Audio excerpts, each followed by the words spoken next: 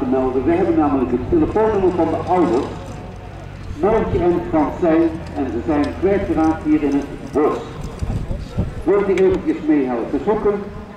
Ze hebben namelijk ook een blauwe spijkerbroek aan.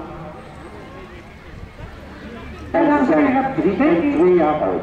Godschap in de water van de Rabobank binnengeblazen. Tom Evers strak naar zijn concurrent staat kijken, hoe doet hij het? Maar hij niet alleen, want de hele familie weer door dat bos geworst om het allemaal uit te halen. En dat gelukt, ze zijn het allemaal weer om Danny en Jacob aan te moedigen. Nou, dat laatste stukje, kijk eens naar die tijd. Ja, prachtig gedaan, Danny. Echt schitterend. 30.09.